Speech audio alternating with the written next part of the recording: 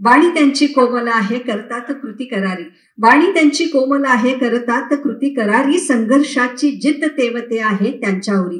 भवितव्याची जबाबदारी आहे त्यांच्या शिरी त्यांच्या पंखांमध्ये उद्याची आहे गगन भरारी. त्यांच्या पंखांमध्ये उद्याची आहे गगन भरारी. पूर्ण करी संकल्प आणि नेतात कार्य तडीच महाराष्ट्राचे राजधुरंदर देवेंद्र फडणवीस साहेब. त्यांना विनंती करते की त्यांनी आपलं मनोगत व्यक्त करावं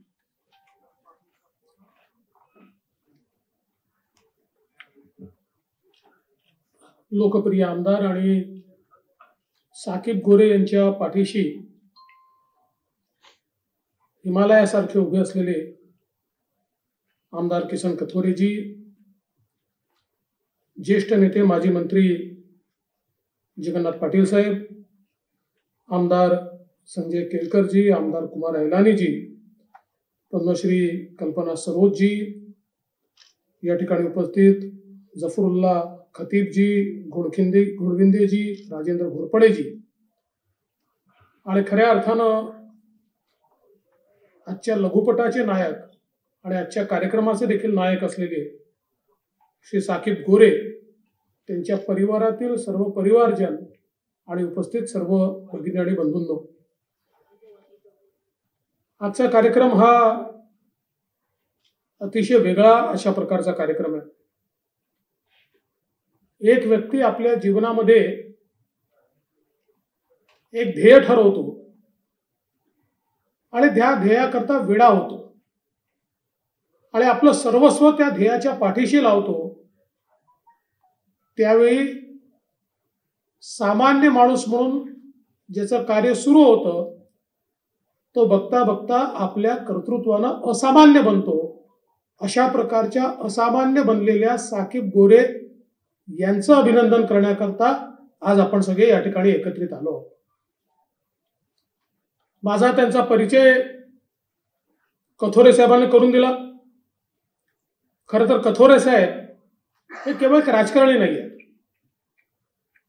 राजकारण हे करत असताना त्यांचा मूळ पिंड हा समाजकारणाचा आहे. समाजातल्या शेवटच्या व्यक्तीच्या जीवनामध्ये परिवर्तन घडवणं या उद्देशाने सातत्याने ते काम करतात आणि विविध उपक्रमांच्या माध्यमातनं महिलांमधली उद्यमशीलता असेल उपक्रमशीलता असेल युवांना संधी देण्याचा विषय असेल गरिबांची सेवा असेल अंत्योदय मिशन असेल किंवा नेत्रदानासारखा कार्यक्रम असेल अशा विविध कार्यक्रमाच्या माध्यमातनं कथोरे साहेबांनी एक बृहत परिवार तयार केला. आणि मला असं वाटतं की राजकारणात काम करणाऱ्या लोकांना जोपर्यंत रचनात्मक कार्य करत नाही केवळ राजकारण करतात तोपर्यंत लोकमान्यता मिळत नाही. आज कथोरे साहेबांना जी लोकमान्यता मिळाली ती या त्यांच्या कृतिशीलतेमुळं आणि खऱ्या अर्थानं रचनात्मक कार्यांमुळे मिळाली. आणि मग साकीब गोरे सारखा एक हिरा त्यांनी शोधून त्याच्या पाठीशी उभं राहून आज ज्या प्रकारे साकीबजींनी आपलं काम उभं केलंय या लघुपटाच्या माध्यमातनं तो प्रत्येक चेहरा आपण जो बघितला आमच्या आदिवासी भगिनीचा आमच्या बंधूचा ज्येष्ठ नागरिकांचा तो चेहराच इतका बोलका होता. त्याचे भाव इतके बोलके होते.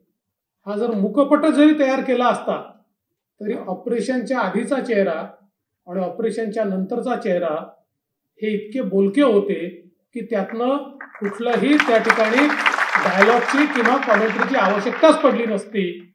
इतकं उत्तम हे कार्य त्यांनी या ठिकाणी केलं.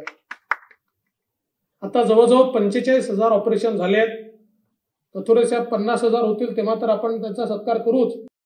पण मला विश्वास आहे की या कार्याच्या भरोशावर येत्या काळामध्ये एक लक्ष ऑपरेशन ते पूर्ण करतील त्यावेळी त्यांचा भव्य सत्कार हा आपल्याला करायचा आहे.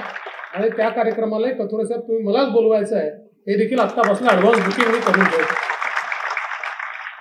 आम्ही ज्यावेळी दोन हजार सतरा साली एक बैठक घेतली डॉक्टर लहाने होते तेव्हाचे आपले मेडिकल एज्युकेशनचे मंत्री गिरीश महाजन जे होते आणि आम्ही सगळ्यांनी हा निर्णय केला की महाराष्ट्राला आपण मोतिया बिंदू मुक्त महाराष्ट्र केलं पाहिजे.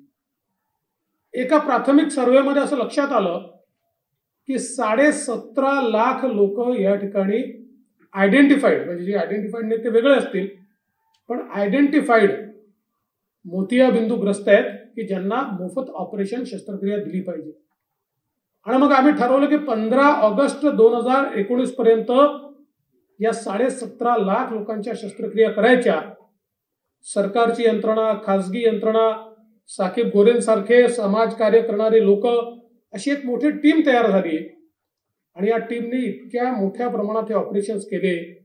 साधारणपणे पंधरा साडे पंधरा लाख ऑपरेशन्स हे आपण या सगळ्याच्या अंतर्गत करू शकलो. अजूनही मोठ्या प्रमाणात लोक बाकी आहेत.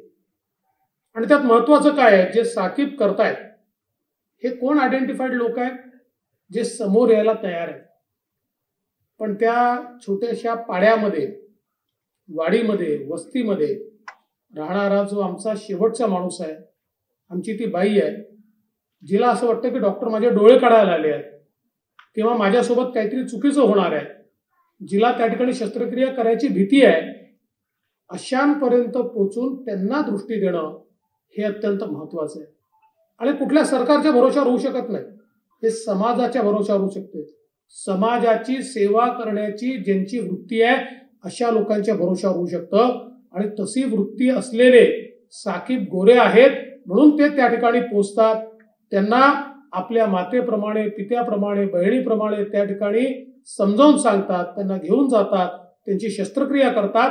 आणि एकदा चार लोकांची शस्त्रक्रिया झाल्यानंतर त्यांना जेव्हा दृष्टी येते त्यावेळेस गावातल्या इतरांना सांगावं लागत नाही.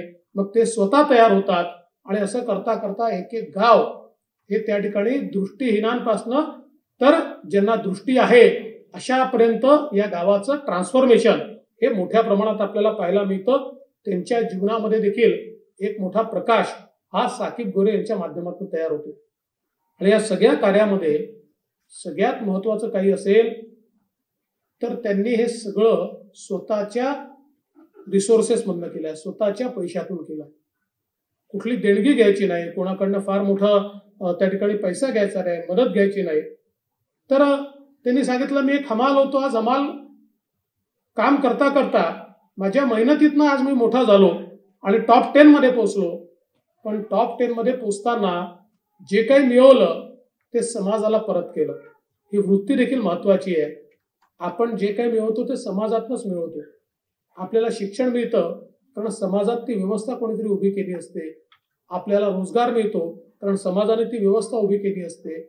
मग अशा परिस्थितीमध्ये आपल्या गरजा भागवून आपल्याकडे जर काही असलं तर त्यातलं काहीतरी समाजाला परत केलं पाहिजे. ही भावना असणं हे अत्यंत महत्वाचं आहे.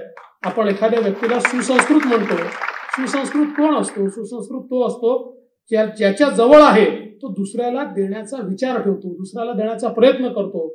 अशा प्रकारचा प्रयत्न आपल्या गरजा भागवून त्याच्या पलीकडचं सगळं हे समाजाकरता दृष्टीहीनांकरता गरिबांकरता आदिवासींकरता देण्याचं काम हे साकीब गोरे यांनी केलं.